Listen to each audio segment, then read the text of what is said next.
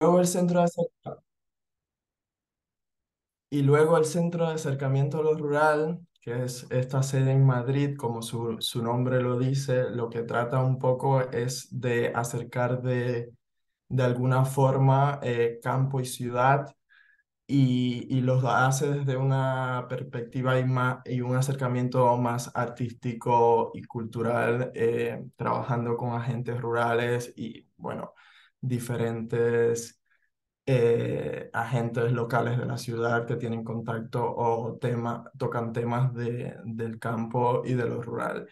Y precisamente hoy lo que voy a hacer es presentar un proyecto eh, del que soy autor y curador y mediador un poco, un proyecto que se llama eh, Aquí hay vida y es un proyecto que trabaja eh, con el territorio, con ecologías locales y, y con el arte y la cultura, un poco la confluencia de las, de las tres cosas, porque nuestro trabajo en el Centro de Acercamiento Rural se, inte- se interesa mucho por acercarnos a la comunidad local, al vecindario, al barrio, a, las a los vecinos, a las instituciones y asociaciones eh, vecinales de alguna forma, porque estamos en una zona extrarradio de, la, de, de Madrid, donde no somos centro de Madrid y todavía que- queda eh, algún tejido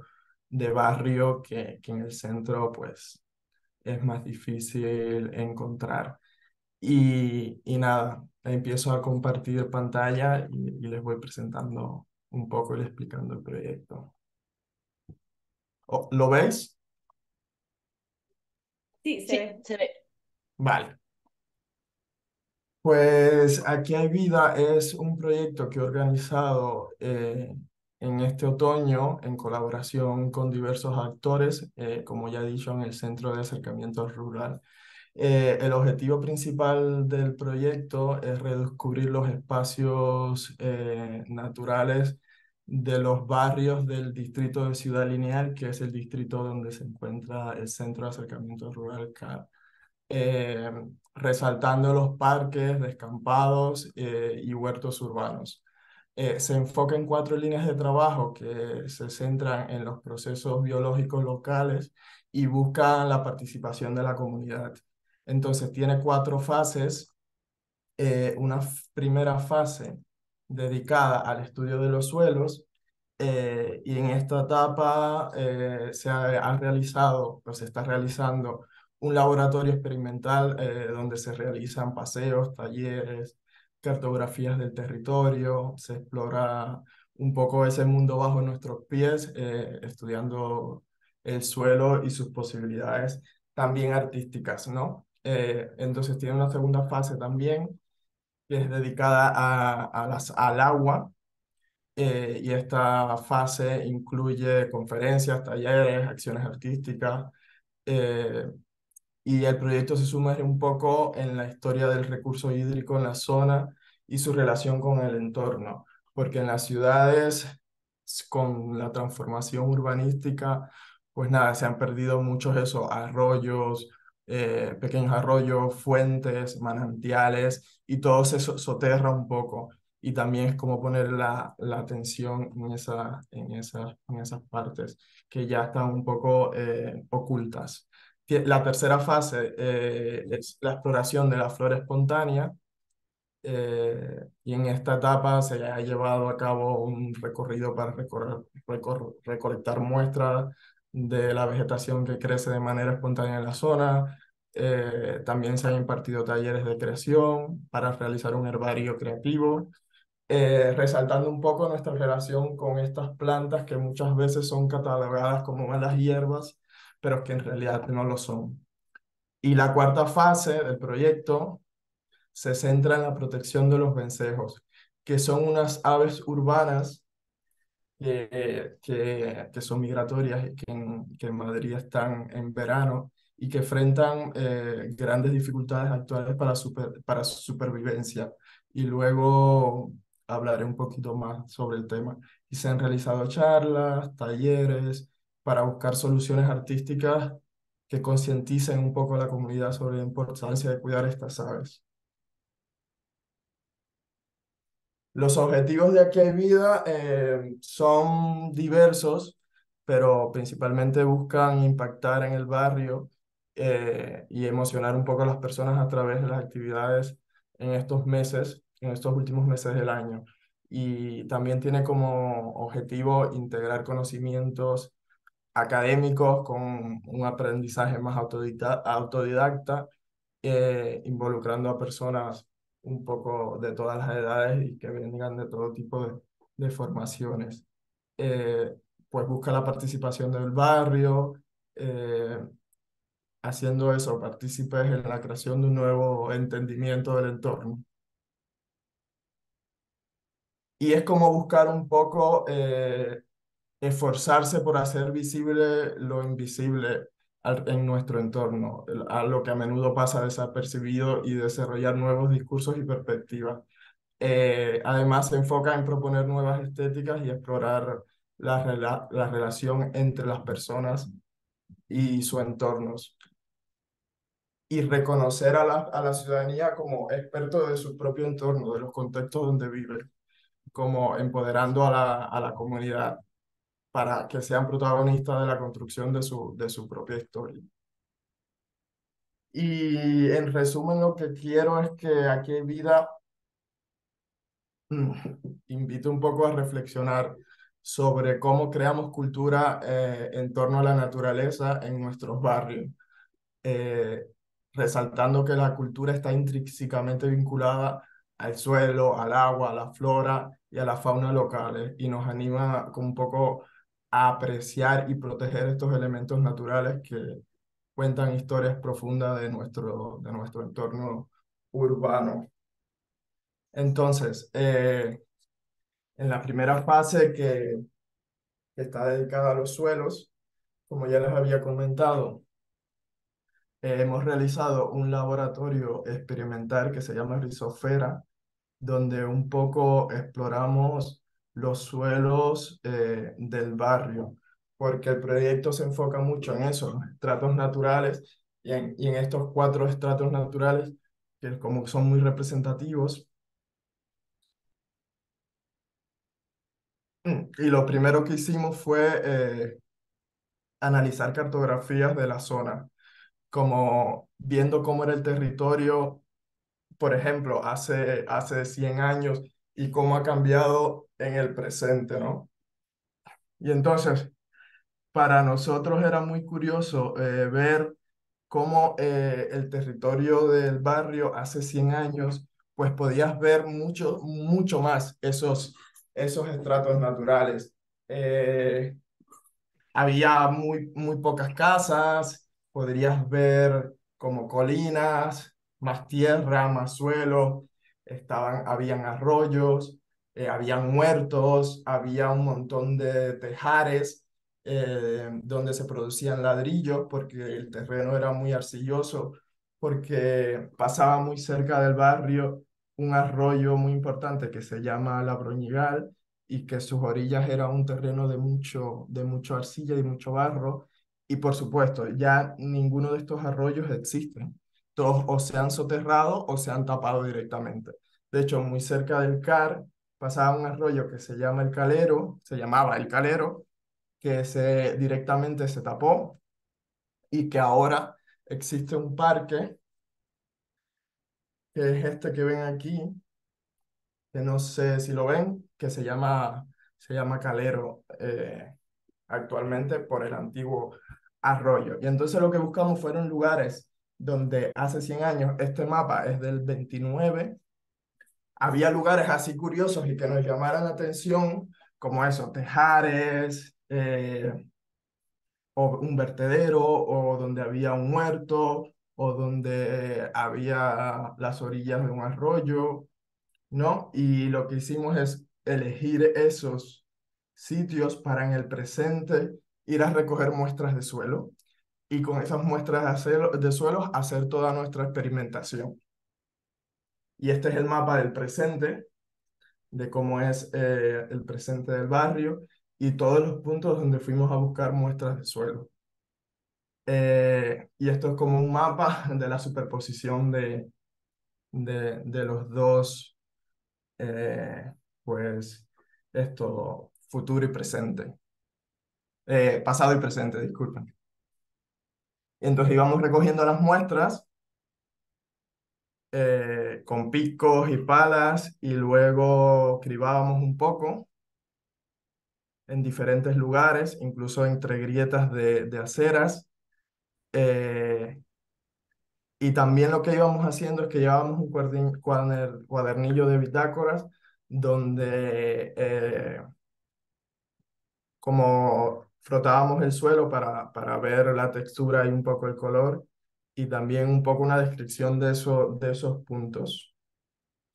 Luego, eh, en el CAR, en el Centro de Acercamiento Rural, pues tratábamos estos suelos como machacándolos, cribándolos y sacando un poco más el polvo. Y una de las cosas, y una de las cosas que hicimos con estos suelos que cribábamos y machacábamos fueron sacar los pigmentos del suelo. Eh, los machacábamos bien fino, los mezclábamos con, con goma arábiga y creábamos como, como acuarelas. Y entonces lo que hicimos fue, eh, como estos suelos, eh, darle un enfoque un poco, más, un poco más artístico. Y entonces, como también hay estudios que, que dependiendo de los colores de los suelos, se puede ver sus composiciones químicas, su fertilidad y todas esas cuestiones. Hemos estudiado estas cosas, pero realmente eh, nuestro interés no es tan científico como eso, experimental y un poco más, y un poco más artístico.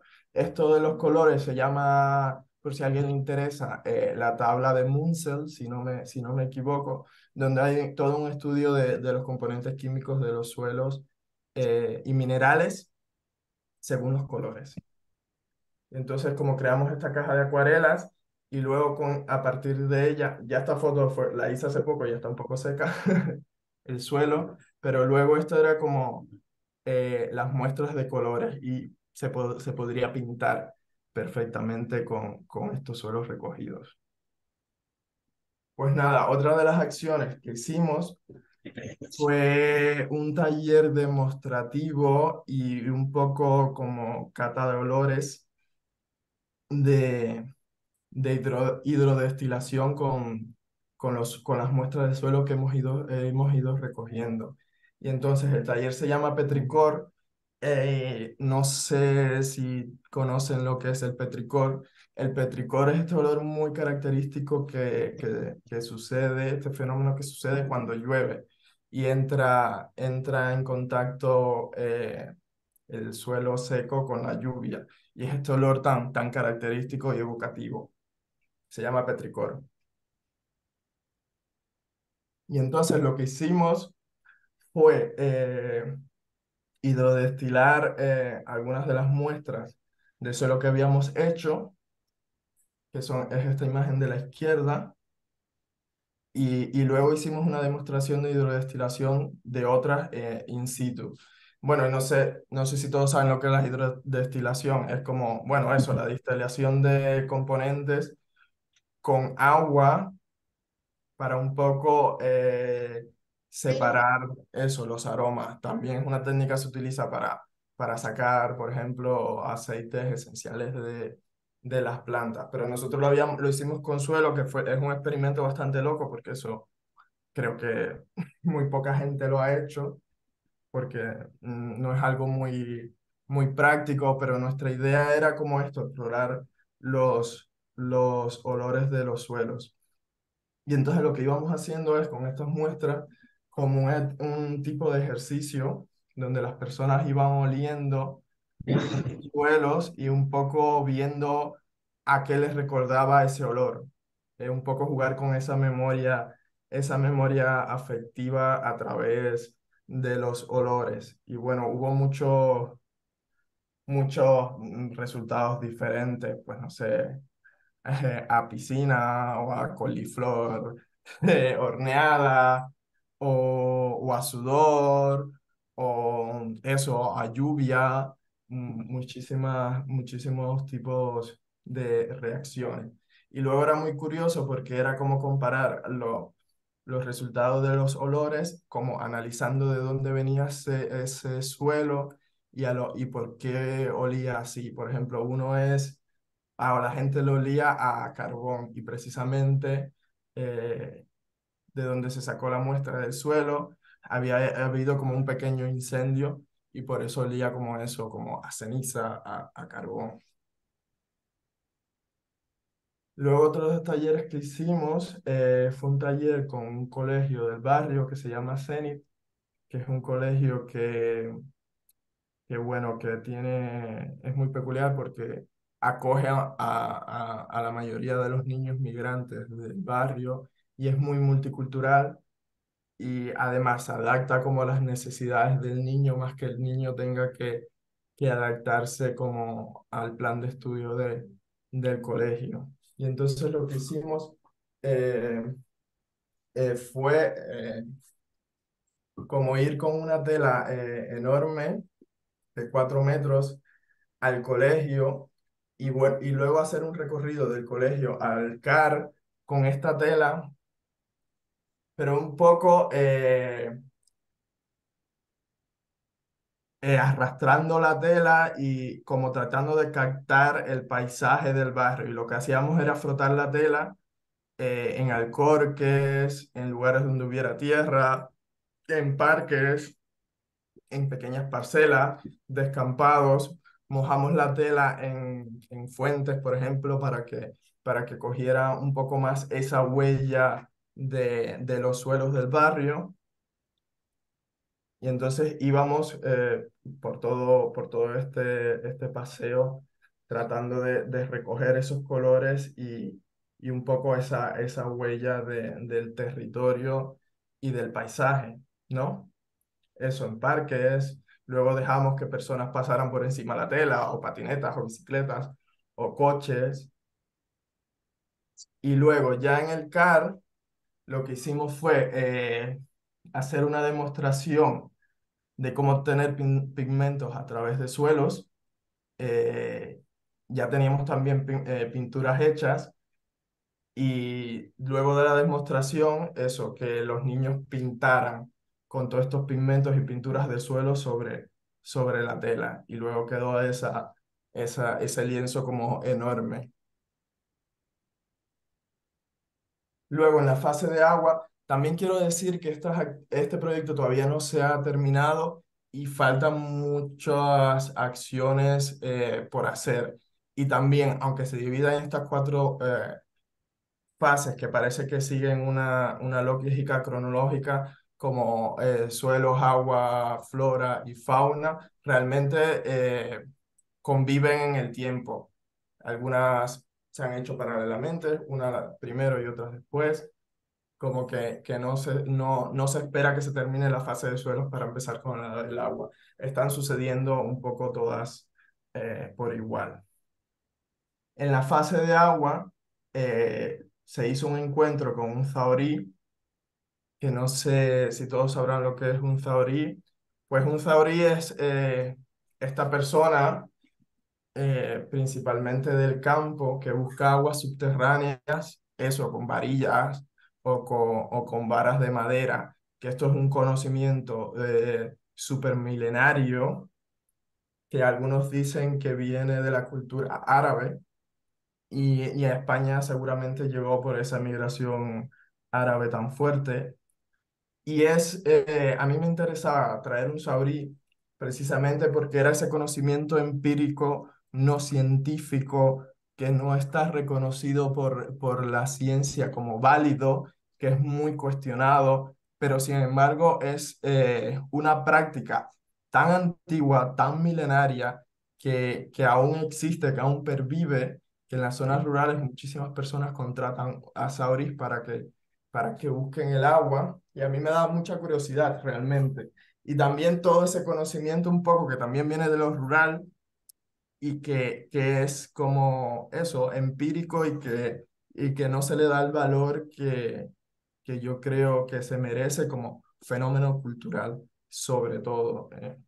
Entonces, eh, primero se hizo una conferencia, él explicó su práctica y luego fuimos a este parque que le comentaba anteriormente, el Calero, donde él hizo una demostración con las borillas y las varas para buscar eh, corrientes de agua subterránea y una vez que encontró una corriente, eh, lo que hizo fue una hacer que las personas lo experimentara eh, también y fue muy gracioso porque con las varillas aparentemente era muy fácil, pero con la vara era casi imposible que, que alguien lo, lo experimentara.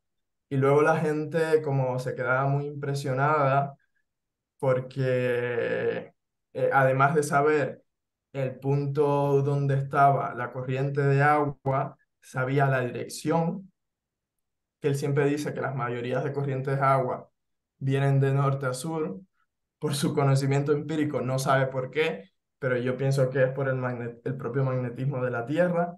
Eh, luego sabe eh, la profundidad, a cuántos metros está el agua, por lo tanto a cuántos metros hay que perforar.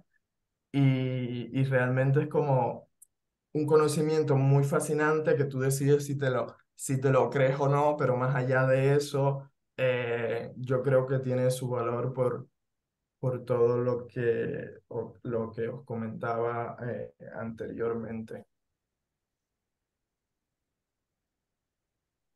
Luego en la fase de, de flora, hicimos un ejercicio que se llamó eh, el herbario del barrio, que lo que hicimos fue un paseo de reconocimiento y recolección de muestras de flora espontánea o, o malas llamadas malas hierbas con, con un especialista que era Javier Grijalvo Cervantes, que es un gran conocedor sobre la flora de Madrid en general, ha escrito varios libros, en uno de ellos eh, Flora de Madrid, que es un libro de referencia sobre toda la flora en, en la comunidad de Madrid.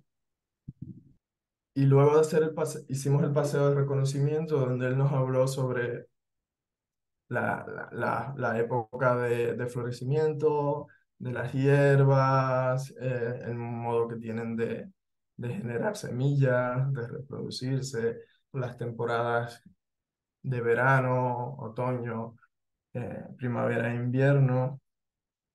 Y a mí una cosa que me llamó mucho la atención es eh, vosotros que están en, en, Latinoamérica, vimos una hierba que no era autóctona de España, sino que por el proceso de colonización eh, llegó a esta parte del mundo.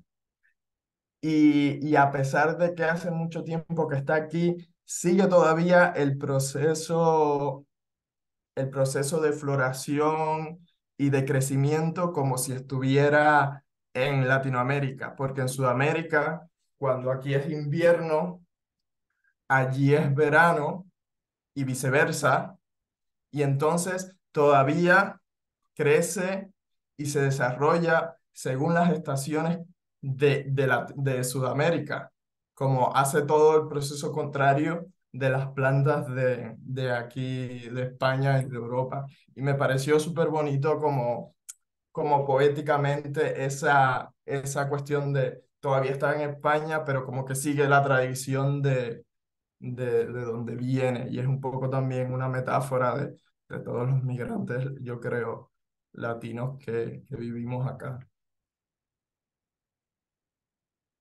Luego, con las muestras que recogimos, eh, hicimos un ejercicio que era como crear pues, un herbario del barrio, pero de una manera más creativa y más artística.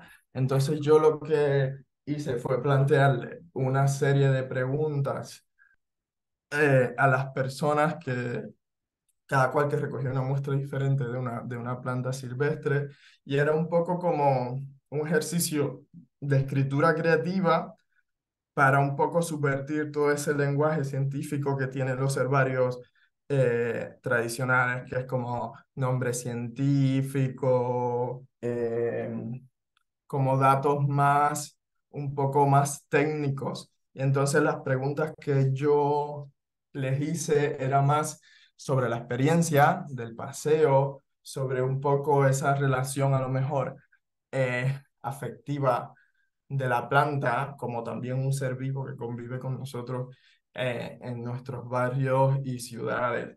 Y, lo, y las preguntas iban como desde el lugar de recorrida de la muestra, como el momento, la temperatura, eh, o, un o si te traía un recuerdo esa planta, o cómo te sentías, tu estado de ánimo cuando la recogiste, eh, una memoria, eh, ejercicio de descripción comparativos de la planta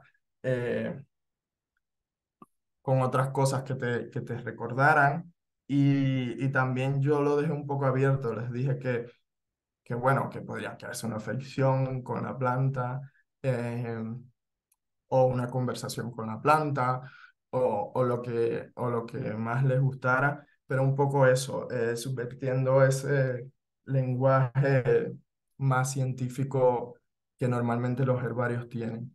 Y luego con, con todas esta, esta, estas respuestas que hemos tenido, lo que he hecho es eh, escanear, escanear cada planta y escanear las, las respuestas y lo que creo es como una especie de herbario del barrio, eh, este herbario un poco más afectivo, no científico, y, y lo que hago de final es con la publicación que haga, mandarle una copia a cada persona que, que participó en el, en, en el paseo.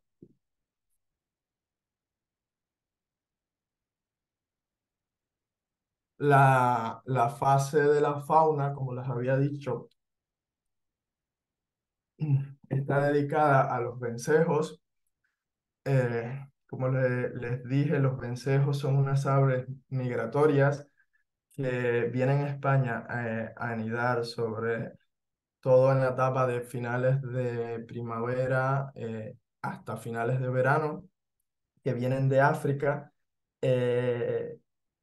Y el problema con estas aves es que a, raíz, a, raíz de nuestra civilización y la creación de las, de las ciudades, ellos eh, abandonaron sus lugares de anidación en los, en los árboles, porque ellos no construyen nidos, sino que se meten en agujeros. Antiguamente eh, anidarían en agujeros, pero a, a raíz de la urbanización ellos han visto como una oportunidad en anidar en la propia arquitectura, en los agujeros de, de, de los edificios, de las casas, en, entre las tejas, donde, donde ellos puedan ver una oportunidad de anidación, ahí se meten y ya no anidan en, en árboles.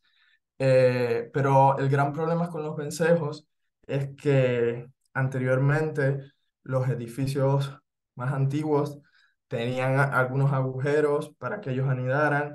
También las casas que, que eran de tejas, de estas tejas como un poco cóncavas, cóncavas eh, ellos eh, anidaban ahí. Pero ahora con las remodelaciones todo eso se, se está tapando, todos esos agujeros y, y ya los vencejos no tienen dónde anidar.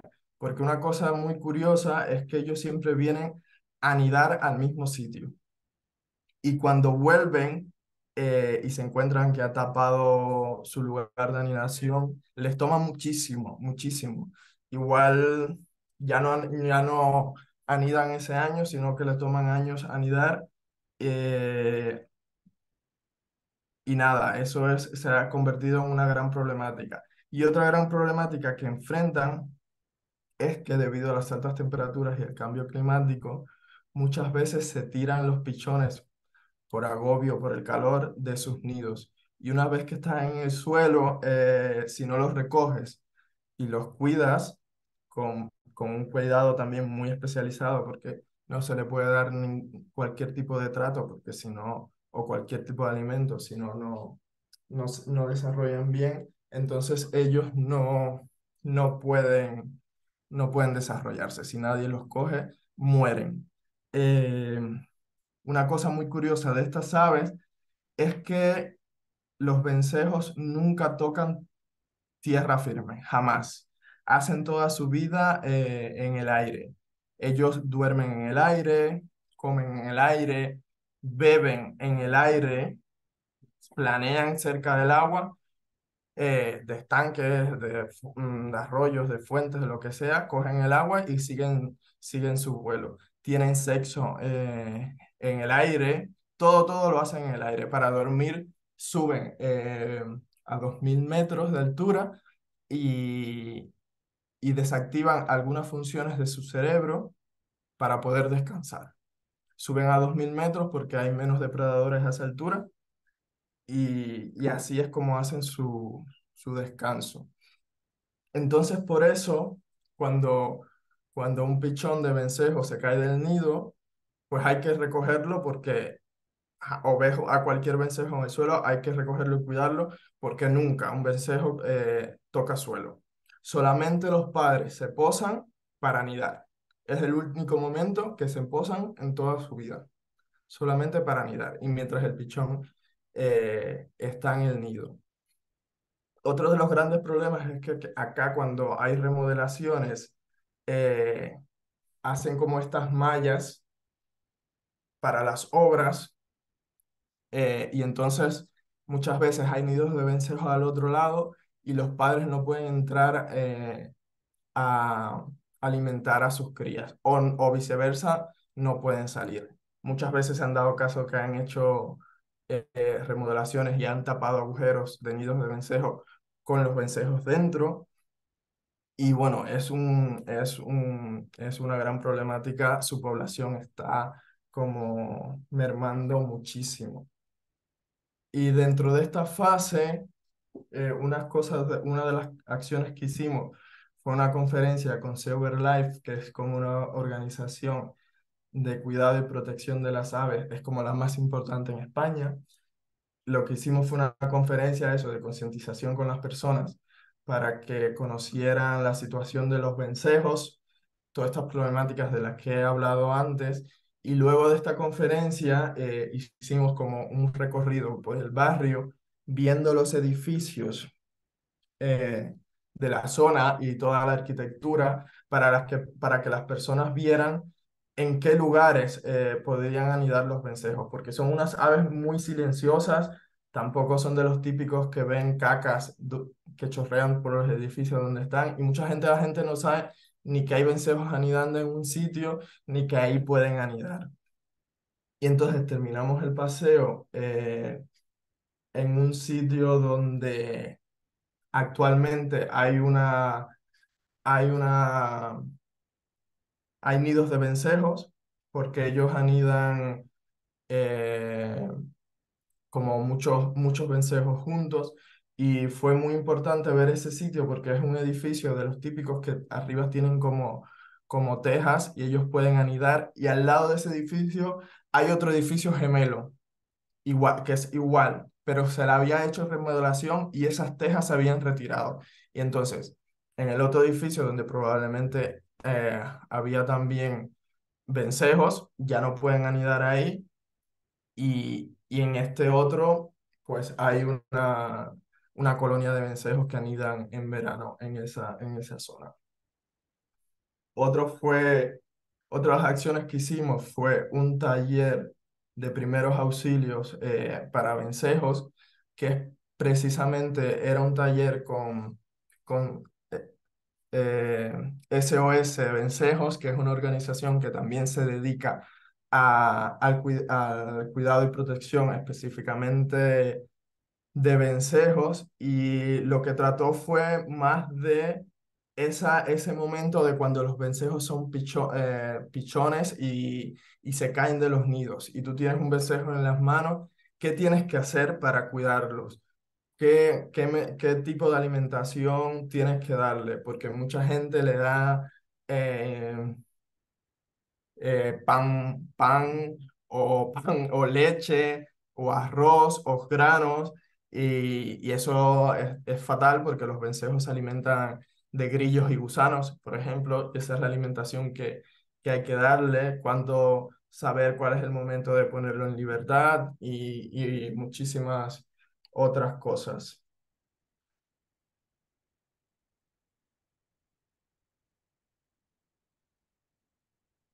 Esta otra acción que todavía eh, no hemos hecho es un buzoneo, eh, porque aquí por el barrio hay mucha publicidad de, de comercios, pero mucha la típica publicidad esta que se, se deja en los coches o por las calles, eh, para que la gente las vea y hacer un poco eso, promoción de los negocios.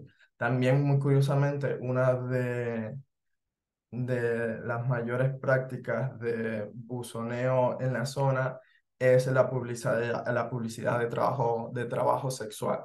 Y entonces, esta acción es como eh, dejar estos, tipos, estos típicos folletos de, de publicidad pero eh, más bien como una información sobre los vencejos, una información un poco más educativa y de concientización de, de toda esta problemática de los vencejos para que los vecinos y la gente del barrio eh, un poco se entere de lo que pasa con los vencejos, estén al tanto, sean más cuidadosos con la reforma de los edificios y las obras saber qué tienen que hacer si hay una obra eh, en un edificio donde hay, hay nidos de vencejos, todo esto de, de, cómo alimentar pichones, toda la problemática de la caída de los nidos, eh, y es como repartir por las, poner en diferentes zonas de las calles del barrio como estas pequeñas postalitas para que la gente se concientice más. Otras de las acciones que nos faltan por hacer en esta fase es un taller de cajas nidos eh, para vencer. ya está, ya está ahí. ¿Qué tal? Porque una de las soluciones eh, que se pueden tomar también a falta de agujeros para, en los edificios para estas aves es hacer cajas nidos de, de madera eh, o, de o de barro. Entonces va a ser un taller con personas del barrio de creación de cajas nidos para que en última instancia el, el objetivo principal es que ellos los coloquen eh, en, en, sus edificios para que, eh, si, si, es posible, algunos vencejos eh, aniden ahí. En la, en la fase de flora todavía nos falta también otro ejercicio que es con una chica que hace pigmentos con, con plantas, que en este caso lo haríamos con, con flora espontánea también, y luego con ese pigmento que saca de, de, de la flora hace serigrafía. Y también esto nos, nos, nos interesaba mucho. Y bueno, hasta el momento es lo que hemos hecho. El proyecto continuará y si tenéis eh, alguna pregunta o lo que quieran, me la pueden hacer. Eh, muchas gracias.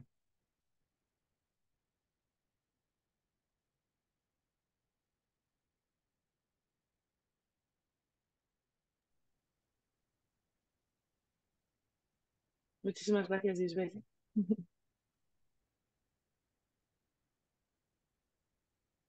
Si quieren, em, eh, quieren que dejemos el turno de preguntas para después y, le demos la, bienvenida a Fernanda. ¿Les parece? Y al final de al final de todo. creo que si, que si quieren también pueden ir poniendo algunas preguntas por el chat y, y ya las voy leyendo si alguien tiene alguna pregunta específica sobre nuestro proyecto o lo dejamos para el final como queráis. Eso es, si quieren eso pueden ir, ir eh, incluyendo sus preguntas en el chat. Y yo doy la bienvenida, eh, bueno, muchísimas gracias Isabel eh, por, a ti, este proyecto. Qué gustazo escucharte. Y, ahora eh, les presento a, Fernanda Ramos, que nos va a hablar, nos va a hablar también de, biodiversidad, pero desde, desde, un punto de vista eh, más científico. Nos gusta poder, como, como, Centro Cultural de España, nos, nos interesa eh, traer aquí a, la conversación y al espacio esta doble visión ¿no? de, de las ecologías que, que se pueden, que puede accederse a ellas desde, desde diversas visiones y por tanto nos parece importante eh, traerlas y conjugarlas aquí en, esta sesión. Así que adelante, Fernanda. Ah, perdonadme, antes, de, antes de, seguir, decirles que la siguiente sesión de Voces Verdes será el próximo jueves, el jueves 7. Y, allí en, esa sesión haremos una sesión doble sobre, sobre minería y extractivismo y sobre agroecología. Así que muchas gracias. Adelante, Fernanda. Gracias, gracias Begoña. Bueno, eh, bueno, en primer lugar quisiera agradecerles mucho el espacio y la invitación para ser parte de, de este seminario y así como bien decías, me parece súper interesante porque en lo personal es primera vez que estoy en un espacio en donde, digamos, se conjugue el arte con biodiversidad, es algo que yo eh, en lo personal pues no, no había tenido el placer de experimentar y me parece súper interesante. Y bueno, eh, voy a proceder a compartirles mi pantalla para iniciar con la, con la presentación. Eh, solo me dicen, por favor, si se puede ver bien la pantalla. Sí, ahora mismo se está viendo. Perfecto, gracias. Eh, ahora, ¿todo bien? Ahí está. Mm, si quieres, prueba a pasar para ver, para ver qué. Sí. Ah, sí. Sí, perfecto.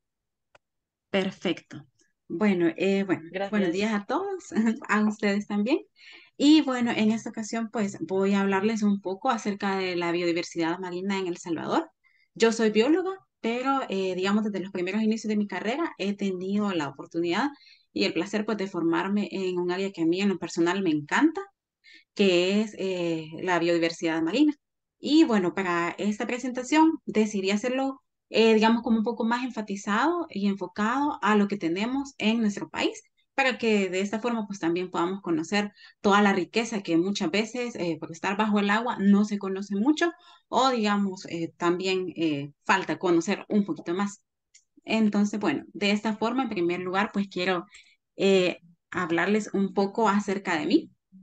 Como les mencionaba, yo soy bióloga y eh, bueno, desde que estaba como en segundo año de mi carrera me empezó a llamar muchísimo. Bueno, el mar siempre ha sido una de mis pasiones más grandes y de esta forma, pues cuando estaba como en segundo año de mi carrera, decidí enfocar mi carrera hacia la parte marina, que si bien en El Salvador no tenemos una carrera de biología marina como tal, hasta el año pasado, cuando yo inicié, pues no estaba. Entonces yo dije, bueno, a mí me gusta el mar y quiero aportar al conocimiento del, mismo. Y bueno, siendo El Salvador un país tan pequeño y tenemos, eh, a pesar de que sea un país pequeño, tenemos muchísima, muchísima costa y eh, me gusta también siempre decir en este tipo de presentaciones que nosotros en El Salvador somos un país prácticamente costero, es decir, nuestro territorio, eh, digamos, terrestre es mucho más pequeño que el territorio que tenemos marino. Entonces, haciendo este contraste, yo dije, bueno, me gustaría poder aportar desde donde yo eh, esté para eh, poder conocer más eh, a, este tipo de ecosistema que, me encanta. Y bueno, de esta forma, pues también he tenido la oportunidad durante estos años de formar parte de equipos de, equipo de investigación, ya sea en proyectos de conservación marina, nacionales e internacionales. También he tenido la oportunidad de realizar investigaciones en El Salvador y también pues eh, he realizado, es, o bueno, más bien he presentado este tipo de investigaciones en diferentes congresos eh, internacionales, por ejemplo, en Costa Rica, en México, en Ecuador, entre otros lugares. Y bueno, pues de esta forma creo que el mundo de, de la biología marina en el país, a pesar de que es pequeño, es súper bonito porque al final pues terminas conociendo a todas las personas que trabajan ahí y es bonito poder hacer como un esfuerzo en conjunto. Y bueno, actualmente eh, estoy apoyando en el Centro de Investigación Marina y Limnológica de la Universidad Francisco Gavidia, donde también pues eh, realizamos todo este tipo de, investigaciones de las cuales les voy a, hablar en las siguientes diapositivas. Pero bueno, para eh, entrar un poquito así o calentar y entrar en materia, me gustaría comenzar comentándoles acerca de qué es lo que se conoce como biodiversidad marina. Y pues de esta forma sabemos que la, e, esta variedad de vida existe en ecosistemas marinos que incluyen mares, océanos, arrecifes de coral, estuarios y otro tipo de hábitats acuáticos. Y bueno, esta diversidad, biológica es muy amplia y que puede, eh, o sea, contempla desde los organismos mucho más pequeños como la bacteria, fitoplancton o zooplancton, que son pequeños organismos que viven eh, siempre en la columna de agua y que no son perceptibles a los humanos. Entonces, eso lo hace ser, eh, más bien, tener un valor súper importante en toda la cadena alimenticia de eh, los organismos marinos. Y bueno, pues los que son muchísimo más conocidos sabemos como los peces, mamíferos marinos como las ballenas y diferentes tipos de plantas acuáticas. Entonces, en el entendido de lo que engloba la biodiversidad marina, eh, eh, quiero comentarles también acerca de qué tipo de ecosistemas costeros tenemos en nuestro país para que podamos conocer un poquito más y luego enfatizarnos a la temática eh, de la cual me voy a extender un poquito más. Y bueno, en primer lugar, como todos conocemos, pues El Salvador está muy lleno, digamos, de playas arenosas que tienen diferentes extensiones, como pueden observar aquí en la fotografía. Esta es una fotografía que saqué en la parte occidente del país, en, eh, en Sonsonate. Entonces, eh, bueno, al ser este tipo de ecosistemas, uno de los que hay, digamos, con mayor amplitud en nuestro país, es, digamos, muchísimo más propenso a que este tipo de ecosistema sea vulnerable a cualquier actividad, ya sea eh, antrópica, es decir, generada por el, por el ser humano y otro tipo de cosas que pues también pueden afectar, porque eh, como digamos todos hemos, hemos observado en alguna visita que hemos hecho al mar, que siempre, siempre vamos a encontrar cualquier tipo de microorganismo o, perdón, de organismo pequeñito que está, digamos, sobre la arena, ya sean cangrejitos, gusanos, entre otros. Entonces, eh, yo siempre me pongo a pensar cómo esta actividad, digamos, el, el mismo hecho de que a veces pasan, digamos, algunos carros o eh, la, la, misma, digamos, construcciones que se hacen muy cercanas al mar, cómo esto está afectando a este tipo de vida que, digamos, solamente viven en esta parte. Y bueno, eh, de esta forma también quiero comentarles un poco acerca de los manglares, que como sabemos igual en el, en país hay pequeños parches de manglares que eh, muchas veces estos se ven afectados por las actividades agrícolas que se, que se realizan en este tipo de zonas. Y que con este tipo de, de actividades, pues lo que produce es reducir toda el área que tenga este tipo de, de ecosistema y que tienen un, un valor súper importante porque nos protegen mucho, por ejemplo, de la erosión de las costas, nos protegen también de huracanes que puedan eh, ocasionar graves daños a las partes costeras, digamos, o a las comunidades costeras que son quienes reciben, digamos, el primer impacto en cualquier situación. Y como sabemos, El Salvador, pues, es un país tropical y está súper eh, expuesto a este tipo de fenómenos naturales. Y es por eso que los manglares son muy importantes a, y a pesar pues también de toda la biodiversidad que en ellos se resguarda. También pues tenemos acantilados rocosos, como los que podemos observar eh, en playas como por ejemplo en La Libertad o en San Miguel, donde son súper característicos que uno va por la carretera y va viendo todas las formaciones rocosas que se hacen a la orilla y que a la vista pues son eh, muy bonitos y que también albergan muchísima cantidad de, diversidad. Eh, sobre todo en este tipo de, digamos, de pozas que se hacen entre mareas, cuando la marea baja y se va, digamos, hasta más adentro, eh, deja este tipo de orificios en donde, como quedan llenos de agua, sirven muchísimo para el desarrollo de organismos juveniles, como por ejemplo ciertos tipos de peces que se desarrollan la mayor parte de su vida en este tipo de, de hábitats. Y también, pues, en El Salvador tenemos los litorales rocosos, que son este tipo de formaciones rocosas que eh, se hacen a la orilla del mar o también dentro del mar y son muy característicos estos litorales rocosos porque en su mayoría están formados por eh, roca de origen volcánico. Y es por esta razón que al tener este tipo de origen, eh, este tipo de rocas, propicia también que haya mucha vida dentro de ellos, como vamos a ver a continuación. Eh, y bueno, durante la presentación voy a enfocarme principalmente para contarles acerca de los arrecifes que tenemos en nuestro país, eh, principalmente enfocándonos en el occidente del país, en los cóbanos. que es, digamos, donde se encuentra el arrecife con mayor amplitud y el cual pues ha sido eh, un poco más estudiado que otros arrecifes del país. Pero bueno, para comenzar, pues también, eh, antes de meterme a hablar de todo esto de los arrecifes, eh, quiero que ustedes también conozcan eh, que estos arrecifes son estructuras topográficamente significativas, es decir, que dentro del fondo marino, dentro del sustrato, este tipo de estructuras crean elevaciones, ya sea altas, bajas o medias, para que se pueda albergar vida en ellos. Esto es importante porque son construidas en su mayoría por animales bénticos. Eh, plantas y microbios. Es decir, eh, bueno, los animales bénticos hace referencia a que son todo ese tipo de organismos que viven, ya sea toda su vida adherido al fondo marino o también eh, digamos, se desarrollan parte de su vida en este tipo de lugares. Y lo que hace es propiciar que el fondo marino, en vez de ser plano, como digamos en un fondo donde haya solamente arena, este tipo de fondo tiene más elevaciones, por lo tanto tiene digamos, mayor potencial de, ah, de albergar vida dentro de ellos. Y bueno, algo también súper eh, importante es que este tipo de organismos que son capaces de formar arrecife eh, mineralizan esqueletos de carbonato de calcio que inducen a la precipitación del, carbonato. Y eso es importante también porque al eh, precipitar el carbonato, ellos son capaces de crear estructuras rígidas en donde puede adherirse cualquier tipo de organismo, también servir como refugio para otras especies, entre otros. Y bueno, ¿cómo, digamos, cómo es que nosotros vamos a conocer todo este tipo de, de, biodiversidad marina sin tener, digamos, en cuenta ciertos métodos, técnicas e instrumentos para recoger estos datos? Ya que sin esto, pues no sería posible. Y bueno, para comentarles un poco acerca de la metodología que ocupamos, es, eh, la metodología del Corredor Marino de Conservación del Pacífico Oriental Tropical. El Pacífico Oriental Tropical es donde estamos ubicados nosotros como, eh, como país.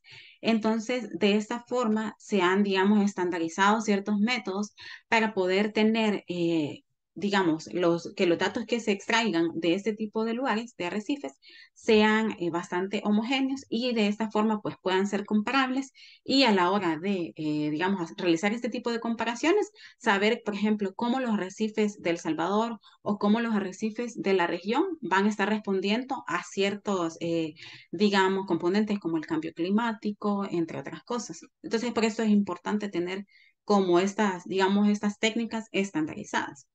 Y bueno, para ello pues se realizan eh, transectos horizontales de 30 metros de largo y estos pueden ser, eh, estos transectos horizontales pueden realizarse tanto eh, en la parte, digamos, que queda descubierta por el agua de mar, como también en lugares sumergidos. Y bueno, también se le conoce como arrecifes de poca profundidad a los que se desarrollan entre los 0 metros a los 30 metros de profundidad.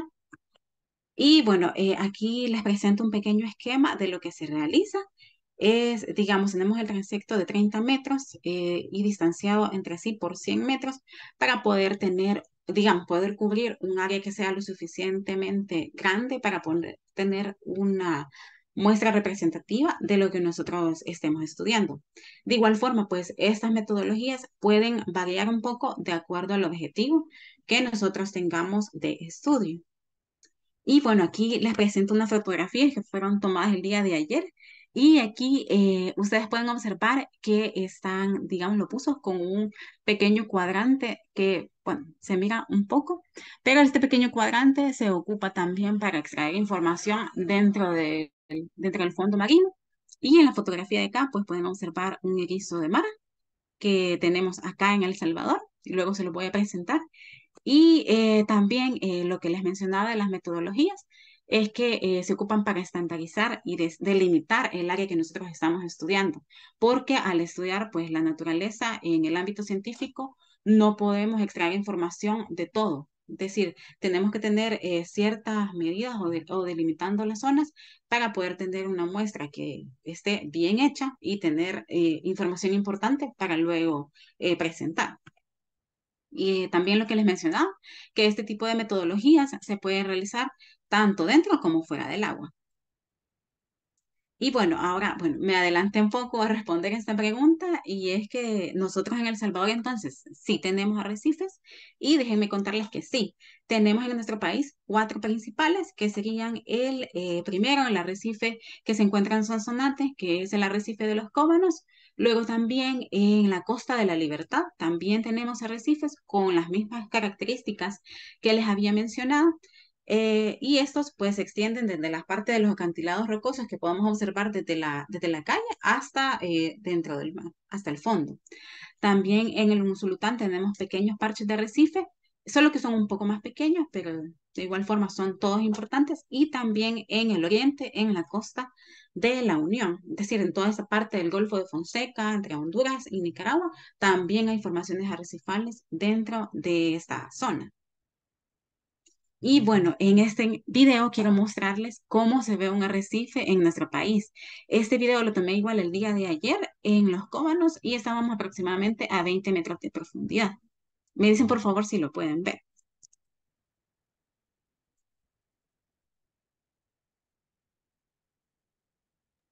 Sí. Aquí observamos todas las formaciones. Gracias. Todas las formaciones rocosas que, se, que, se, que hay dentro del lugar.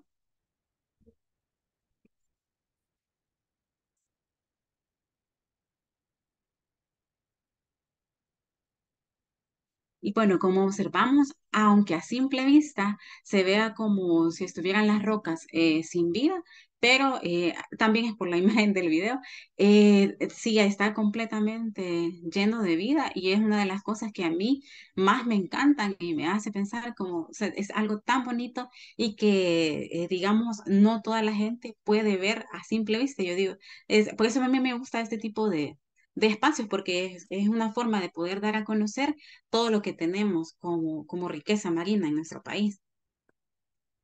También acá en el siguiente video eh, quiero mostrarles la diversidad de peces que, que hay y ahorita se los reproduzco.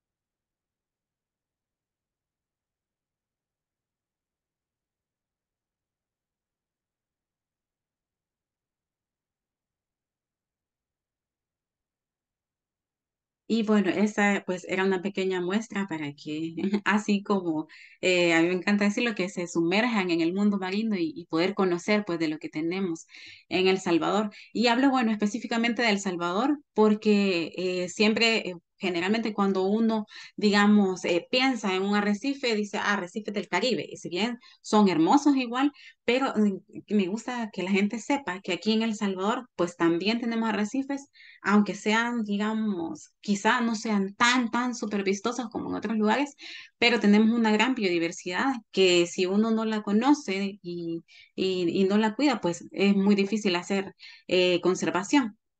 Y bueno, en las siguientes diapositivas eh, quiero mostrarles quiénes entonces son los que viven ahí, ya que tenemos como un, eh, digamos, eh, conocimiento previo acerca de estos arrecifes. Ahora vamos a pasar a la parte de conocer, digamos, algunos de los organismos que podemos encontrar en este tipo de ecosistemas. Y bueno, entre los principales y que, digamos, es lo que más se puede ver en cualquier documental o video de vida marina, son los corales.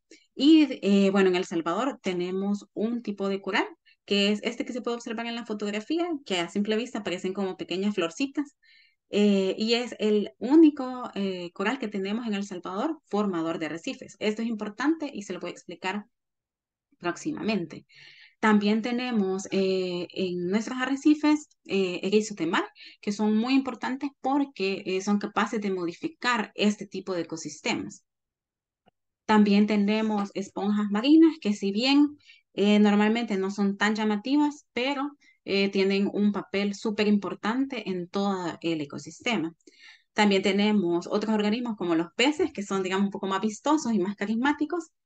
Y también tenemos a las algas, que como sabemos, pues así como, como hemos visto anteriormente, pues todas las plantas pues también juegan un, un rol súper importante sobre todo para, eh, digamos, introducir esta energía a eh, los, los ecosistemas eh, marinos por medio de los animales. Ahora bien, en esta diapositiva les muestro algunas de las fotografías de peces que tenemos en nuestros arrecifes.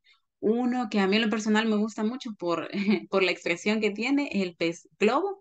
Y este tipo de, pez generalmente se encuentra de forma solitaria y se puede observar eh, navegando así súper súper despacito en el arrecife en busca de alimento o, cualquier tipo de, de, actividad. Solamente que este tipo de pez es mucho, digamos, mucho más activo, mucho más frecuente de ver durante la noche. Pero bueno, el día de ayer lo vi en el día. Es, no es tan común de verlo, pero a veces se encuentra ahí como nadando con su propio tiempo. Eh, también tenemos al pez mariposa, que eh, de igual forma pues es un pez que tiene, por ejemplo, hábitos eh, bastante omnívoros, pero que dependiendo del lugar en donde se desarrolla, pues puede tener cierta, digamos, afinidad por alimentos que sean mucho más abundantes en el arrecife, ya sean crustáceos, erizos, entre otros. También tenemos al merito, que es este pececito que se observa acá en la fotografía.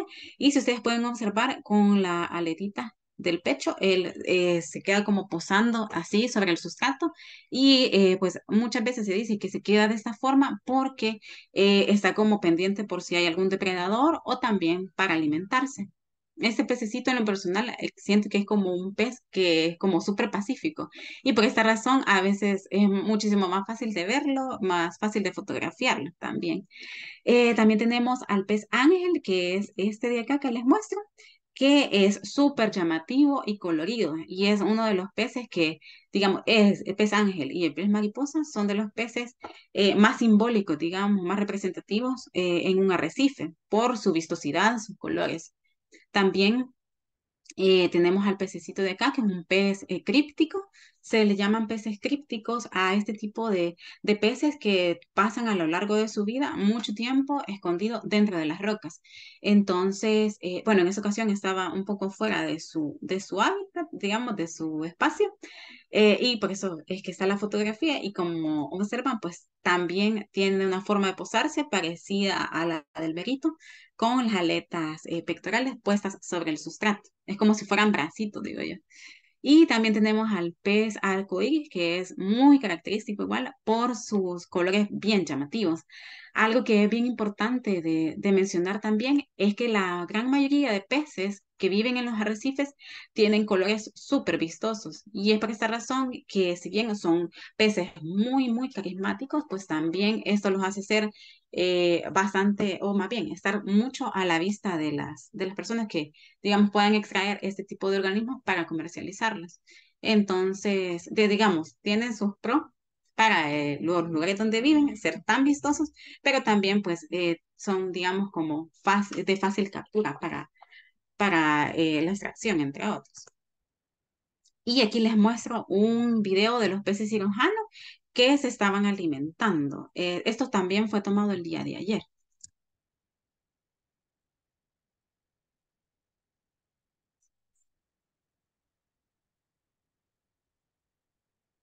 Como pueden observar en el video, eh, los peces parece como si estuvieran como, digamos, arrancando cositas de la, del, digamos, de las rocas y son estas pequeñas eh, manchitas que se pueden ver acá.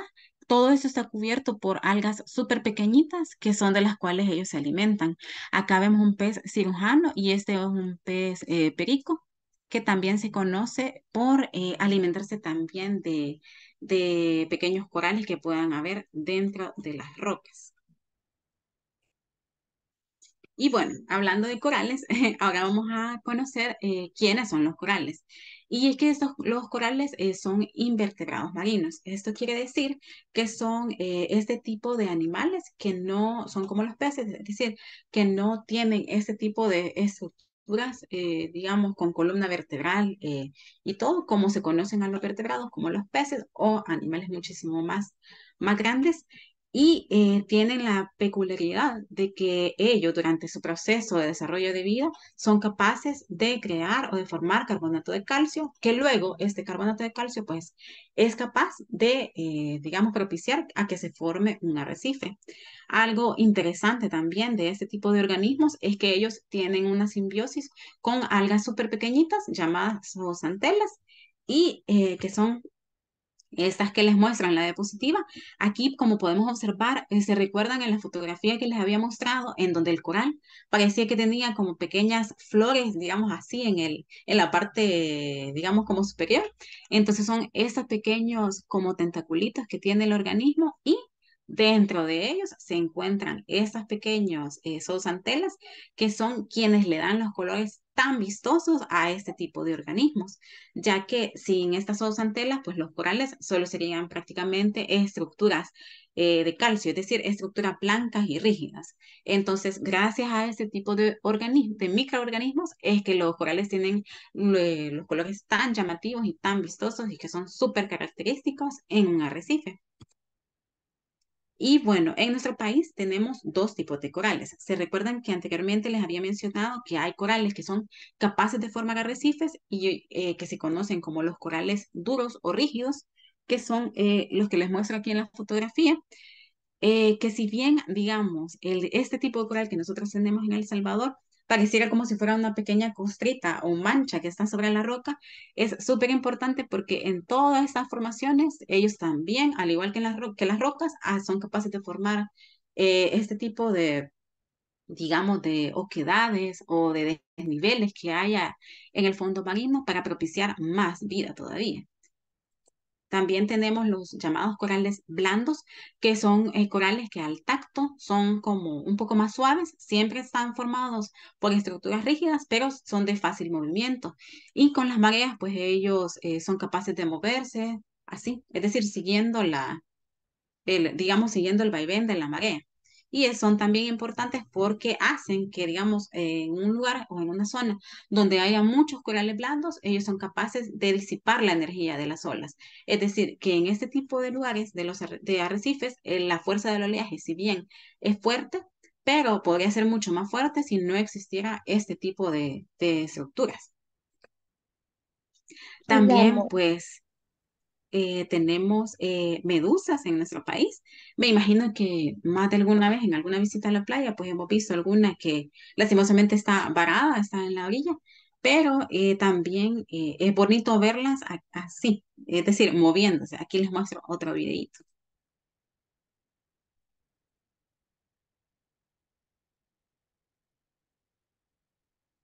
Eh, eh, bueno, sabemos que es bien característico ver este tipo de organismos y que sus movimientos sean como campana.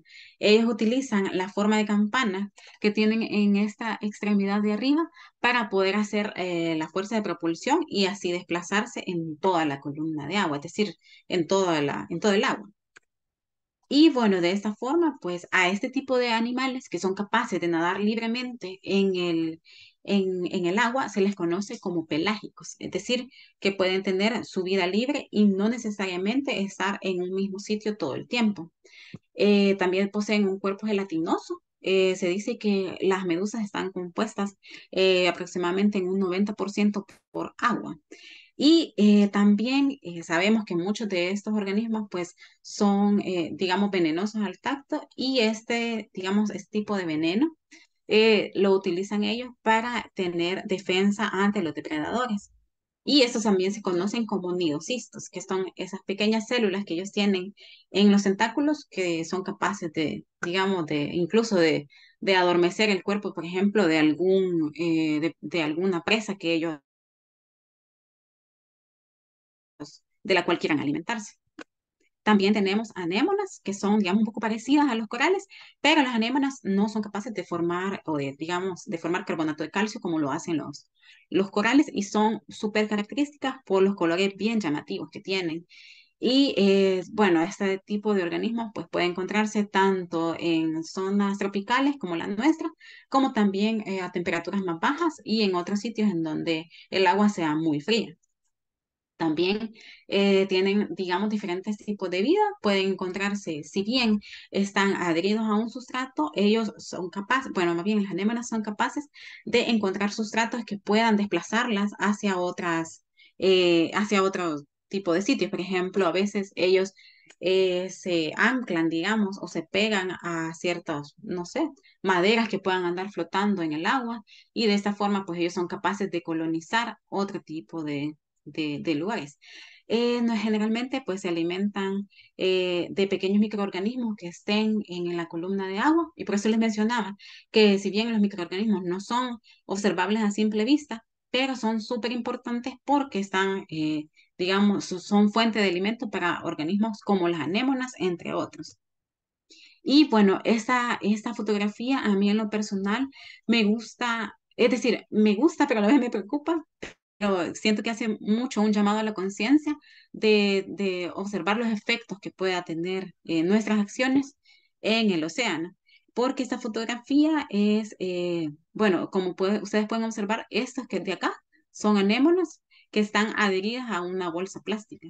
Entonces, al, al, ver esta fotografía, es como un pequeño llamado, considero yo, a la conciencia y de decir qué estamos haciendo nosotros como, como, como humanos en el planeta. Es decir, si bien el uso del plástico ahora está tan difundido que tenemos plástico por todos lados, pero al ver ese tipo de fotografías, uno puede pensar que quizá, bueno, ah, está adherida nada más, la, las anémonas están adheridas al plástico, pero más allá de eso nos está eh, diciendo qué está pasando. Hay tanta cantidad de plástico que luego va a parar al mar y está teniendo este tipo de, de efecto. Es decir, la vida marina incluso está adhiriéndose a este tipo de, de, de materiales. Y esto, es decir, cuando los animales se adhieren a este tipo de material, ya no son capaces de poder realizar sus funciones vitales, comer y desarrollarse, porque eh, todas sabemos que todas las sustancias del plástico pues no son digeribles para este tipo de organismos en el mar. Entonces dejo esta fotografía ahí como un poquito para, para tomar conciencia acerca de, de nuestras acciones y decir no al plástico. También, eh, bueno, uno de los grupos que a mí en lo personal me encanta muchísimo y dentro del que me he especializado un poco más durante mi carrera ha sido eh, las estrellas de mar y sus parientes, que eh, es bonito mencionar de que las estrellas de mar siempre se consideran como un símbolo de la vida marina. Y de esa forma, pues yo pienso, si son un símbolo de la vida marina en nuestro país, ¿qué es lo que se conoce acerca de, de las estrellas de mar y sus parientes? Y eh, bueno, de esta forma, este grupo está conformado por cinco, eh, por cuatro, bueno, cinco subgrupos, de los cuales cuatro se encuentran en nuestro país. Estas son fotografías de las especies de estrellas de mar que tenemos en El Salvador. La primera es la estrella de mar cojín, que es esta de acá. Eh, esta estrella fue, digamos, descubierta hace poco porque no se sabía que estaba desarrollándose en nuestro país. También tenemos a la estrella pirámide, que es esta que observamos a la derecha, que es una estrella de mar con los bracitos mucho más delgados, similares a los de la estrella de mar lisa, que también se conoce como fatariones faciales. Eh, y bueno, estas primeras tres son, eh, digamos, estrellas de mar bastante características dentro de nuestros arrecifes. Si bien no se encuentran en gran cantidad, pero eh, se pueden observar y son como de las más emblemáticas y llamativas cuando, por ejemplo, las personas van a bucear y ven una estrella, es como, ay, foto, foto siempre, porque son súper emblemáticas, ¿verdad? Y por los colores llamativos que tienen. También tenemos a otras estrellas que se desarrollan en, digamos, en los fondos que están llenos de arena, como esta de acá, que se llama Luidia latiradiata. Lastimosamente, esta estrellita no tiene un nombre común, eh, porque generalmente no son, no son vistosas y se encuentran, eh, casi no se encuentran. También eh, tenemos a los erizos de mar, que son estas que les presento acá. Este es el erizo lápiz, que tiene como, digamos, las espinas súper gruesas y no tan puntiagudas, como por ejemplo el erizo diadema, que ustedes pueden observar que tiene las espinas súper llamativas y, bien prominentes. Eh, también tenemos al erizo de mar rosado, que es este de acá, que parece como que si fuera una bolita llena de ventosas.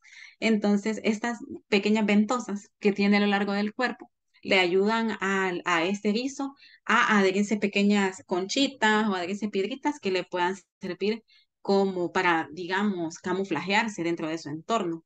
Porque, eh, digamos, al ser o al tener una apariencia muy llamativa, a veces pueden ser presa fácil para cualquier depredador. También en la fotografía de acá podemos observar al erizo eh, de mar que es de pequeño tamaño, pero que también es súper importante.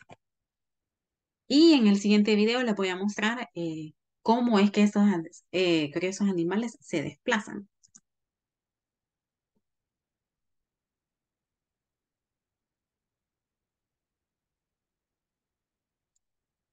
Es decir, son eh, movimientos lentos, pero van desplazándose. A mí en lo particular me llama mucho la atención porque generalmente cuando uno los observa bajo el agua o digamos sobre las, sobre las rocas, siempre están adheridos a un sitio y pareciera como si no pasan de ahí, no se mueven nunca, pero sí tienen movimiento. Y bueno, otro de los grupos que no es muy conocido porque, digamos, son especies que tampoco tienen, eh, eh, digamos, no tienen un atractivo visual tan grande como otras especies, como las estrellas de mar, pero que son súper importantes y pues tampoco son tan fáciles de observar porque generalmente viven bajo las rocas y eh, son organismos que se le conoce como fotosensibles. Es decir, ese tipo de organismos al ver la luz solar o al estar en contacto directo con la luz solar, son sensibles porque buscan siempre resguardarse bajo las rocas o en medio de ellas. Eh, las que podemos observar acá, por ejemplo, esta es acá, se observa la, la estrellita con los brazos, acá. Esta estrella estaba posada sobre una esponja marina. Entonces, es importante pues también conocer que si bien estos organismos pueden desarrollarse, digamos, en solitario, pues también son capaces de tener simbiosis con otro tipo de vida en el océano. También pues tenemos a los pepinos de mar, que tampoco son, digamos, tan comunes de observar, a menos que uno vaya y entre y, o sea, se sumerge en el mar y esté como dándole vuelta a, las rocas que generalmente se encuentran así. Eh, este, por ejemplo, es el pepino de mar café, que tiene una categoría eh, de conservación internacional porque sus poblaciones en otras regiones del mundo están eh, disminuyéndose un montón por eh, la extracción que se hace como alimento. Bueno, eso fue hace unos años, pero también eh, como en respuesta a esto, ese tipo de, organismos pues se han estado cultivando también en granjas para que luego sean exportados y así, digamos, no impactar el medio en el que ellos se desarrollan. También eh, tenemos a, estos pepinos de acá, que pues estos pepinos no tienen como un erizo, eh, perdón, como un nombre común en específico, pero son bien característicos, porque por ejemplo este es eh, de apariencia casi translúcida, solo que en la fotografía no se observa muy bien. Este pepino de mar también está siempre cubierto de arena y es muy fácil de, de confundirlo con todo el fondo que haya todo este tipo de, organismos son muy sensibles al cambio climático y como, como veremos, pues esto del cambio climático tiene diferentes eh, formas en las que afecta a, los tipos de vida que se desarrollan en el mar. Eh, bueno, em, en el siguiente video les voy a mostrar cómo se alimenta un pepino de mar. Y es súper curioso porque en, en las fotografías, si nosotros observamos, no tienen ningún tipo de tentáculos pero al momento en el que ellos se van a alimentar, sacan unos pequeños tentáculos de la boca, de esta parte de acá, y eh, van, eh, digamos, eh, metiéndose las pequeñas partículas de comida a la boca, así le podemos, como le podemos ver en el siguiente video. Aquí se observa cómo se lleva el bracito a la boca.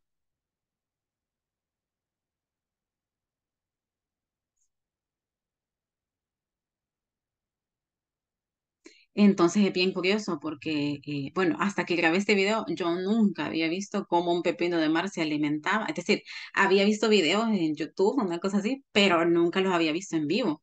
Y al verlos es, es como súper sorprendente porque uno dice qué bonito poder eh, tener el placer de ver este tipo de, de, comportamientos en el mundo natural, es decir, en el mundo en el que ellos se desarrollan y, y llevando, digamos, su vida tan normal y uno poder presenciarlo, de verdad que les digo, es una experiencia súper linda. Y bueno, eh, les comentaba también que los erizos de mar eran importantes porque eh, son capaces eh, de modificar el lugar donde ellos están desarrollándose. Como por ejemplo en esta fotografía que observamos, bueno, esta es una roca que está súper llena de pequeños erizos, casi como se pueden observar en la fotografía. Y estos erizos son importantes porque cuando ellos, digamos, salen de la roca, o sea, se desplazan hacia afuera, eh, hacen que también otro tipo de organismos, como algunos peces, puedan depositar ahí sus, huevitos y pueda desarrollarse eh, o, eh, otro, otro tipo de, Es decir, pueden desarrollarse más, más pececitos. El, el que vemos acá, el erizo diadema, es bien, bien, bien llamativo porque posee todas sus espinas así súper, de color, un azul súper intenso y este órgano que vemos acá, que es como una vejiguita con un orificio, eh, lo utilizan ellos para la excreción.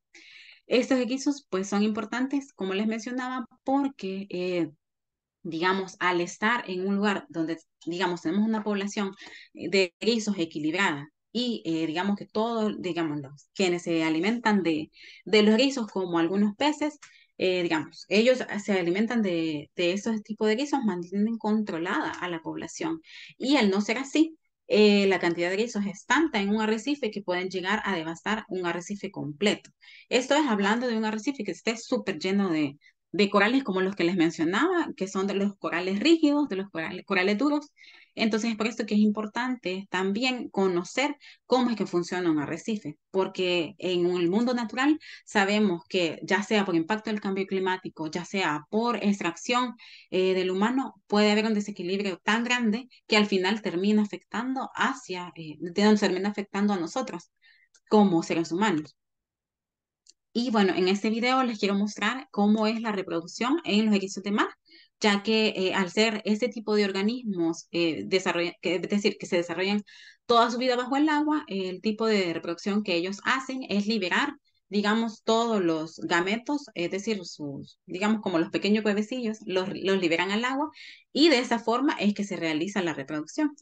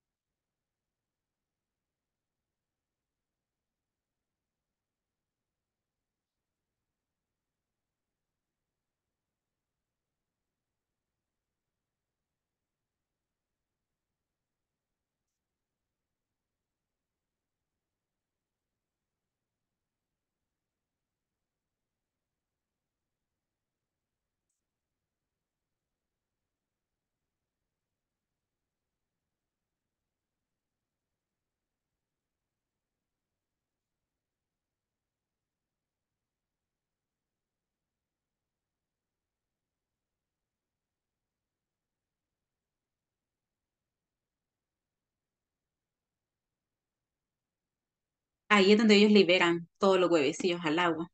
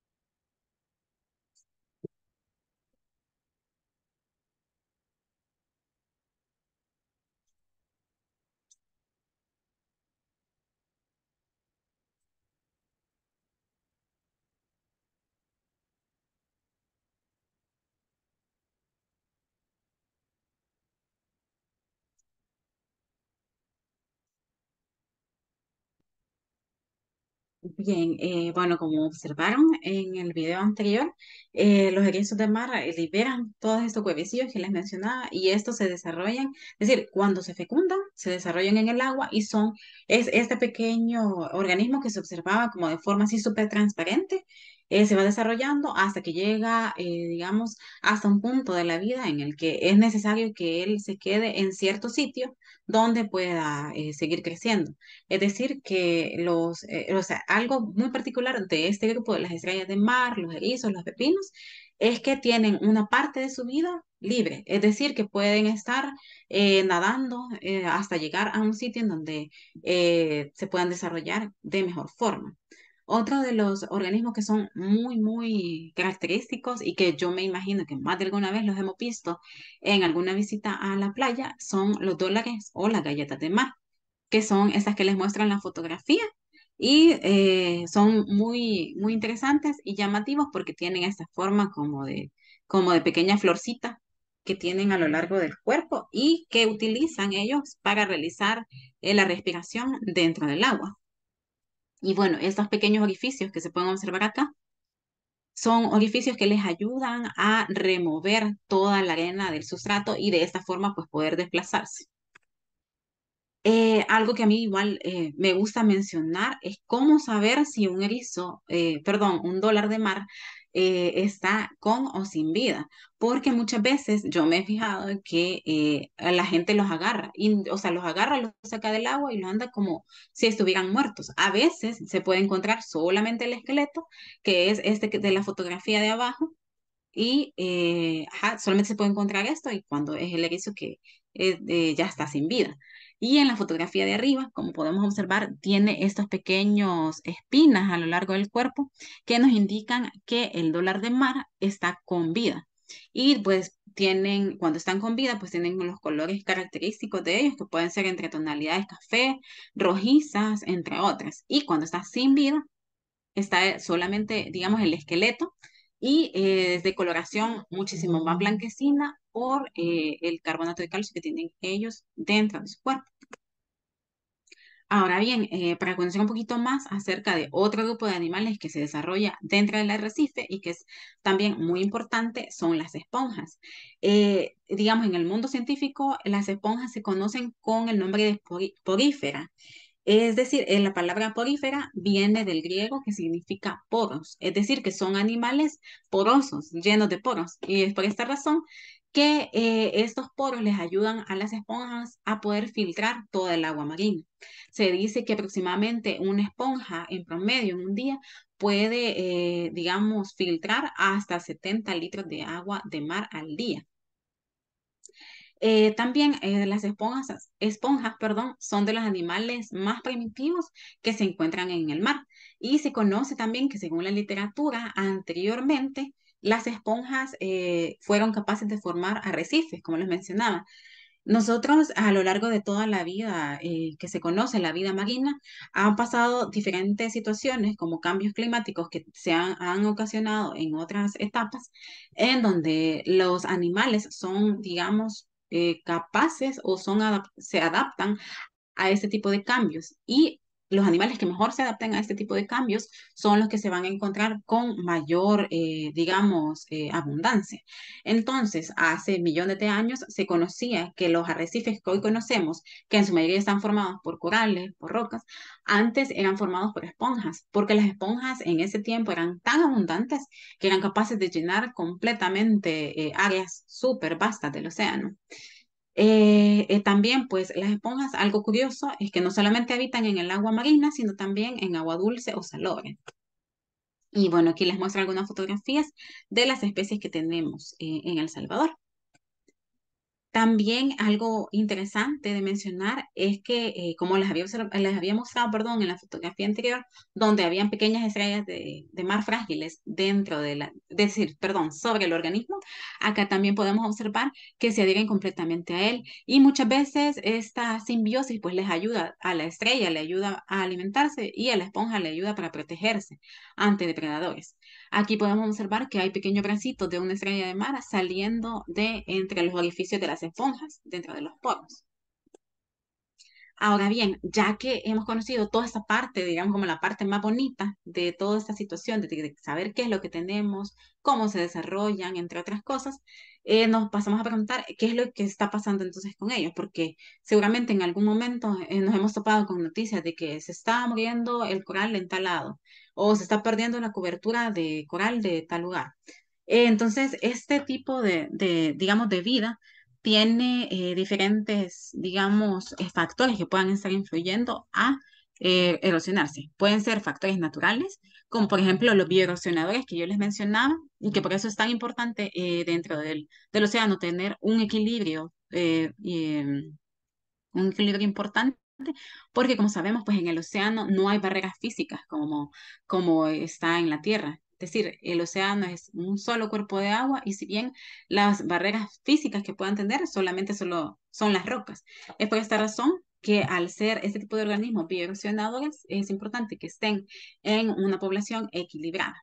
También hay algunos organismos, como los peces, que pueden ser coralívoros, como el pez loro que les mostraba, eh, también es también importante que esté, digamos, su población eh, en una abundancia determinada para que no pueda acabar con todo. También eh, los terremotos, huracanes, fenómenos naturales como el niño, que se ven incrementados por el cambio climático al aumentar mucho la temperatura, pues, pues la temperatura del mar tiene sus consecuencias, ¿verdad? También impactos antrópicos, como por ejemplo eh, los, la pesca que yo les mencionaba, tener una pesca indiscriminada de ciertas especies, puede ser que al, al disminuir cierta especie que por ejemplo se alimenta de cierto tipo de organismo, este organismo aflore tanto que ya no sea posible que se desarrollen otro tipo, o más bien que se desarrolle otro tipo de vida. También el turismo sin control o un turismo eh, no planificado, pues también puede causar que haya eh, mucha presión en el ecosistema o mucha presión en el arrecife al tener, por ejemplo, demasiada cantidad de, digamos, de visitantes dentro de un arrecife, porque como sabemos, un hábitat natural tiene su equilibrio y por tanto uno como agente externo que llega y lo visita, pues tiene que tener el criterio para poder observarlo y, tener una observación cautelosa para poder observar de verdad cómo se comporta el mundo natural sin que nosotros estemos teniendo eh, mayor eh, contacto con ellos. Porque es importante también, porque de esta forma, eh, digamos, al tener uno mucho contacto con cualquier tipo de animal, es decir, los animales no están acostumbrados a que uno eh, o esté tocándolos o esté haciendo ciertas cosas porque se estresan. Y eso pues nos pasa a todos, es decir, que alguien venga y a mí me empiece a molestar mucho, pues obviamente me va a estresar y eso pues genera ciertas, genera muchísimas más cosas malas que buenas, ¿verdad? También eh, algo importante es eh, dentro de los impactos, digamos, antrópicos, son por ejemplo las aguas residuales, que lo que hacen es que al no tener, digamos, un control de todas las aguas que están desembocando en el mar, que esas aguas traigan contaminantes desde la tierra, pues también todo eso va a tener un efecto eh, súper, digamos, malo para todo este tipo de, de, vida que se desarrolla, por lo que yo les mencionaba, que en el mar, es decir, tenemos un solo cuerpo de agua y no hay barreras físicas que, digamos, ah, me pueda, digamos, de aquí a allá ya no me va a afectar, no, sino que el mar se tiene que concebir como un todo, al igual que la vida que existe dentro de ellos. Y bueno, eh, para comentarles un poco acerca de los efectos que puede tener el cambio climático en este tipo de, ecosistemas, estas fotografías son de acá, del arrecife de los Cómonos, y es que el blanqueamiento coralino que se eh, sufrió eh, muy fuerte entre el 2014 y 2016, según los datos que se han recabado, llegó a tanto que casi, casi, casi perdemos nuestra población de coral recordemos que la población de coral que tenemos en el país, eh, de este tipo de coral, solo es una especie y únicamente se desarrolla en este, en este arrecife de los cóbanos. Es decir, imagínense la, lo grave del asunto. En esos años se estaba perdiendo tanto la cobertura de coral, como pueden observar que se queda todo blanquecino, como les mencionaba, que ellos pierden la coloración debido a que como una forma para adaptarse a este cambio, ellos lo que hacen es liberar estos pequeños microorganismos que guardan dentro de sí para poder tener eh, ellos eh, una, digamos, tener una eficiencia energética suficiente para poder tener eh, una supervivencia, digamos, asegurada, ¿verdad? Pero imagínense lo grave del asunto que les mencionaba, perdón.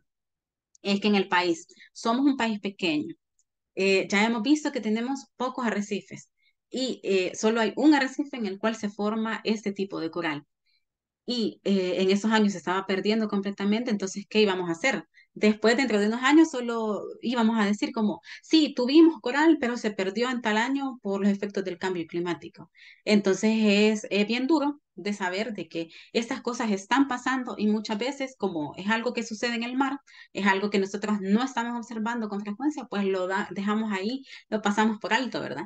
Entonces, igual ver esta fotografía se las dejo como, como un pequeño igual llamado a la conciencia para que todos sepamos cuáles son las consecuencias que, que puede tener el cambio climático y también pues eh, que estas puedan ser un poco más incrementadas por nuestras acciones también que tenemos como humanos.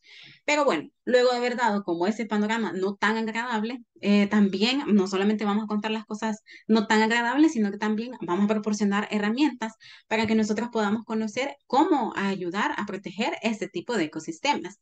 Y bueno, algo que yo les mencionaba y que me adelanté un poco era esto, ¿verdad? Respetando el equilibrio natural. Es decir, cuando nosotros tengamos nuestra próxima visita al mar, eh, tenemos que tener el cuidado, por ejemplo, no extraer, eh, digamos, conchitas, o sea, que si bien se ven hermosas, pero eh, son importantes porque estas mismas conchitas, con el mismo movimiento del oleaje, con las rocas que hay ahí, se vayan degradando de a poco. Entonces, al degradarse de a poco, estas forman arena que es súper importante porque sabemos que muchos organismos viven dentro de este tipo de sitios.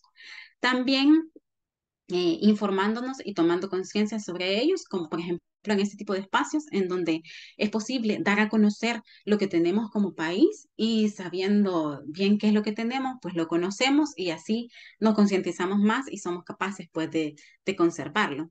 Y bueno, también para el futuro, eh, conociendo todo este panorama, pues podemos ser capaces también de influir en la toma de decisiones que afectan directamente a los arrecifes, como por ejemplo en las cuestiones de calidad de agua, en la planificación costera, que si nosotros hacemos buenas acciones, pues vamos a poder conservar este tipo de sitios que son tan valiosos y son tan lindos a la vista que, digamos, nuestra generación y las próximas generaciones también van a poder disfrutar. Y bueno, pues para eh, cerrar, a mí me encantaría compartirles esta frase que en lo personal me encanta mucho y es que solo se protege lo que se ama, solo se ama lo que se conoce. Entonces lo dejo ahí como para que ustedes se queden con, con esa idea de saber que tenemos esto y ahora bien, eh, que, que sabemos qué es lo que hay, que esto de verdad que les digo es solo un pequeño vistazo de lo que podemos encontrar. Y pues de esta forma, si conocemos, pues vamos a poder eh, proteger toda esta diversidad hermosa que tenemos en el país. Y bueno, eso fue todo de mi parte. Les agradezco mucho el espacio y la atención. Y bueno, eh, creo que pasaríamos al, al espacio de las preguntas. Gracias por todo. Muchísimas gracias, Fernanda. A ustedes. Gracias. Mil gracias. Em, pues ahora, eh, no sé si, creo que em, respecto a la charla de, de Isabel, había alguna pregunta en el chat antes y si les parece también pueden, o si prefieren hacerlas en voz alta o escribirlas en el chat, em, pueden hacerlo. Voy a, voy a leer la que, la que aparecía, la que aparecía hace un ratito cuando terminó Isabel. Mm, mm, mm preguntaban eh, qué profesionales integran el proyecto y si puedes repetir la práctica y a qué pueblo pertenecen las personas que identifican mantos de agua en el subsuelo. Eh, pues nada, eh, los profesionales que hemos integrado al proyecto, pues nada, yo estoy sirviendo un poco como curador y organizador del proyecto, por ejemplo, en el laboratorio de suelos, el de Rizofera que le comenté, integramos el laboratorio de, de suelos, pues una paisajista, eh, un especialista en huertos urbanos eh, y que estudió agroecología y una arquitecta. Y yo que vengo de formación más artística, que estudié bellas artes. Y luego nada, como invitados eso, hemos tenido especialistas eh, en cuidado de aves y protecciones de estas organizaciones que les he dicho. Eh, hemos tenido a Javier Grijalvo, como comenté, que era especialista en flora, en flora en general y botánico. luego hemos tenido geólogos, el que hizo el, el taller de, de hidrodestilación de suelo es geólogo, que trabaja en la Universidad Complutense de, de Madrid. Y, y así somos bastante, bastante variados y depende de los temas que hemos tratado. Y luego el Saurí, que es eh, José Antonio, pues nada, es que esto es un conocimiento que, que más bien se transmite de generación en generación. Él, él lo define casi como un don que algunas personas tienen y, y otros no. Y en cuanto a lo de las prácticas de los pueblos que identifican las aguas, esto realmente no se sabe realmente de dónde viene en la antigüedad. Es una práctica tan milenaria que no se sabe a ciencia cierta. Se cree que viene de los árabes, que es lo que comentaba en, en la charla, pero vamos, esto se, se, se practicaba en Europa, en África y en un montón de, mm, de sitios. Y en realidad eh, también forma parte de una ciencia más grande que es la radioestesia, que sirve para identificar otros materiales, otros minerales, que no es solamente el agua, pero los zaurí como tal, eh, pues nada, eran unas personas que era como una especie de oficio, eran como buscas aguas. Preguntaban también eh, qué, qué tan difundida, practicada está la radiestesia en España.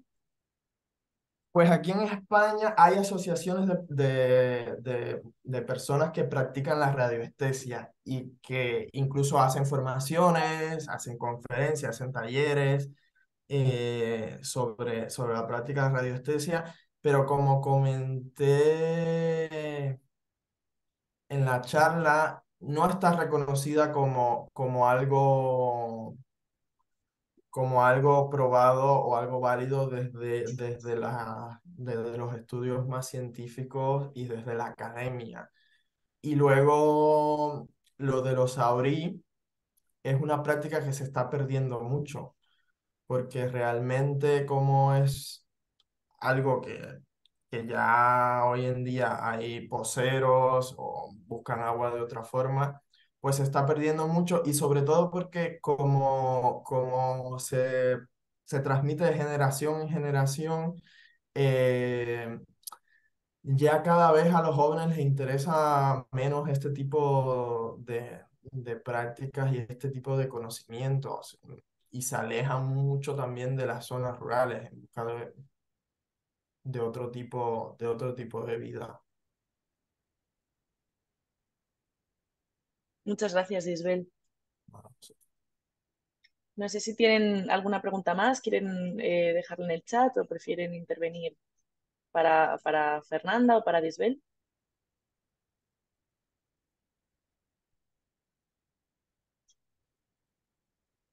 Aprovechen.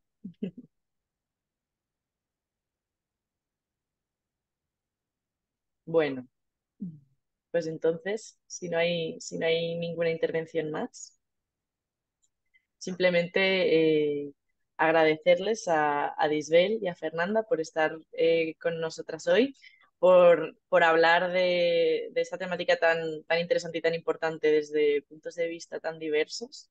Creo que es muy enriquecedor poder, eh, poder como asomarnos a vuestros mundos desde, desde, desde puntos que parecen tan opuestos, pero que luego al final tratan de, de concienciar y de hablar de un poco de lo mismo. Así que muy agradecidas, muy agradecidas desde el Centro Cultural de España por, por participar con ustedes. Y, y bueno, muchas gracias. gracias. Sí. Esperemos pues seguir. seguir... Uh -huh. Así es, así es, yo también lo creo y esperamos poder, poder contar con ustedes también para, para, futuras ocasiones. Y a los participantes de, Voces Verdes, muchísimas gracias por, por, conectaros hoy con nosotras y también por, por haber aguantado hasta esta tercera sesión, que por fin ha sido eh, la definitiva. Recordarles que la semana que viene, eh, a, a, la misma hora, a las nueve y media, eh, tendremos la sesión de cierre Y, y, bueno, les esperamos y cualquier duda, cualquier cuestión me pueden escribir al email. Un saludo y muchísimas gracias por todo. Adiós, muchas gracias. Buen día a todos. Gracias. buen día. Un placer, Fernando. Igualmente. Igual, mucho gusto. Desde...